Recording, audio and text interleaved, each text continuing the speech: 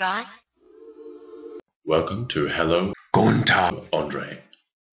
The highlight of our transit between Melbourne and Wolfgantzen, an admittedly relentless 30 hours, was that we flew directly over Prague City. And if you look at this blurry photo that I took with my phone out of the window, you can even see Charles Bridge. We had about four hours stopover in Paris, so we decided to go and check out the apartment that we'll be living in in summer.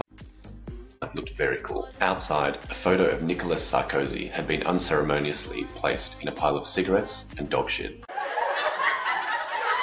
We then jumped on a train and headed east to Alsace and mother-in-law. In fact, it was great to meet Nicole and all of the other wolves in the pack.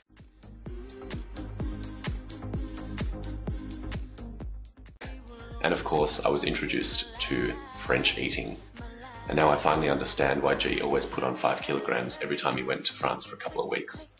I was introduced to the French tradition of la raclette, which is basically where you stick cheese of all different sorts into a little saucepan, stick it into a fryer that sits in the middle of the table, and when it's melted, you pour it over fried potatoes and gobble it up. If your initial instinct was that that is yum, then you are correct. The only problem is that they let dogs into their restaurants. Those dirty bastards. The whole region around where G's mum lives is beautiful, and we went to a lot of the villages which have beautiful streets and storks' nests on chimneys and um, vineyards that just stretch as far as the eye can see. And beautiful little streets and lanes and perfumed trees and castles and uh, fortified towns and little cobblestone lanes that wrap through these little cities. It's like the setting of a fairy tale. We even managed to pop over to Switzerland for a pretzel and a smoothie, and then over to Germany for some brunch and shopping. Sounds bourgeois? It is.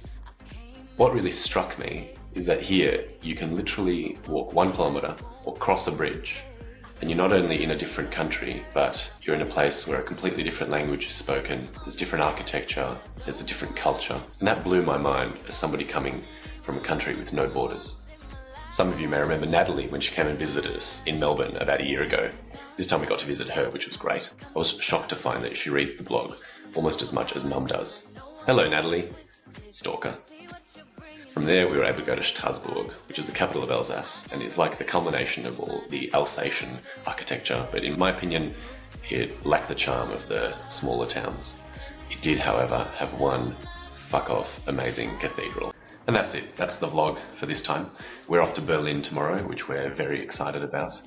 Um, I'm not sure if you're as obsessed as I am, but I love doors and windows, and in the region here, there are so many that are unique and beautiful. So the rest of the video is just a selection of pictures of Alsatian doors and windows set to the sound of the Strasbourg Cathedral bells chiming.